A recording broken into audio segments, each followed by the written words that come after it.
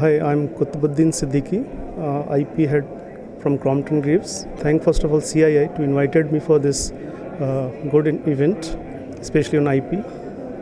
And as this is our concern area, and we have found that it is very good to us because we should know uh, what are the best practices available not in India, worldwide.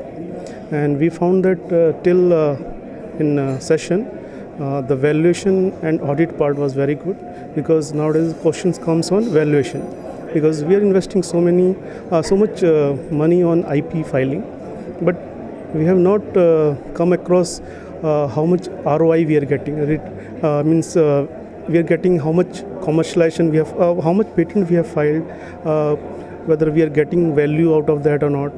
This kind of thing we have found that is very difficult for Indian company to commercialize Im- immediately, but still we have not made any system to commercialize the patent. So we should at least get some picture from here that how to commercialize, how to validate the technology, and that will help in our uh, IP system. Thank you.